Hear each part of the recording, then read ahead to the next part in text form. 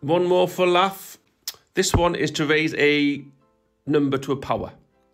So if I add this log base 10, a to the power n, to simplify that, we can do log n log a, another law, last one for that.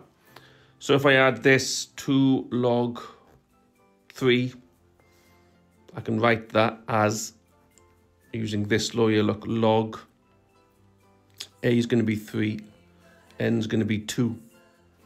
So 3 squared is 9. If you work that out, calculator, work that out. Don't forget log on this calculator is log base 10 there, look. And I go 9, that gives me 0.9, which is the same as 2 log 3. I'll do 2 log, make sure we get the 10 there, look. Go, was it 3, 3, 0.9, same answer. Another one done, thank you very much.